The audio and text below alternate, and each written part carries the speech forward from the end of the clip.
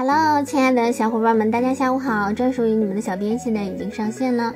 相信作为年轻人而言，在日常生活中都非常喜欢看综艺节目的。说到这里，小编就想到了《奔跑吧》，想必大家和小编一样，都是这档节目的忠实粉丝。既然如此，那就赶紧怀着好奇心继续往下看吧。到目前为止，跑男的每一期节目，小编都第一时间前去观看了。我们都知道，最新一期的跑男，让我们在看的过程中明白了职场的生存法则。虽然很残酷，但那却是最美的青春。不知不觉中，《奔跑吧》已经播出过半了，小编的心里面既舍不得，与此同时也感慨万千。毕竟一开始很多人因为跑男的阵容在心里面无法认同，可是随着节目的开播，才发现原来跑男的精神一直都在。随着节目的开播过半，官方平台也公布了各位 MC 的海报。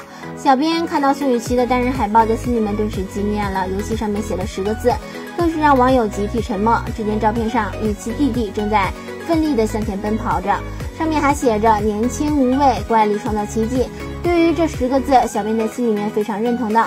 毕竟他无所畏惧的人生态度，真的是值得所有人学习。各位小伙伴们，你们看到宋雨琦的单人海报，在心里面有什么想法吗？欢迎在下方留言评论。